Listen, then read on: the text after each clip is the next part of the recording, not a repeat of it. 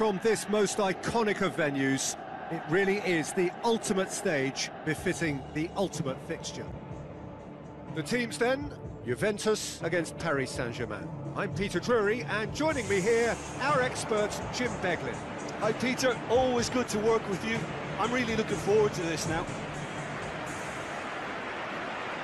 The familiar strains of the anthem serving to raise the levels of expectation even higher.